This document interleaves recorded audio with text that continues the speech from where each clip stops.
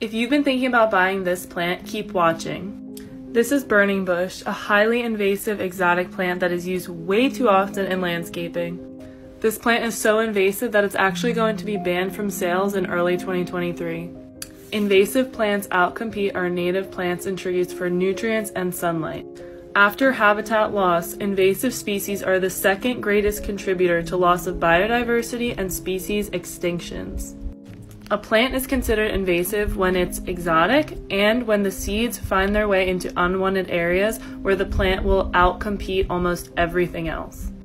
Instead of burning bush, try these shrubs instead for fall color and winter interest. The first one is Itea, which gets a really beautiful white flower in the spring. You can start growing your own food by planting blueberries, which also have a beautiful fall color, red chokeberry, red twig dogwood, and winterberry. Thanks for planting native!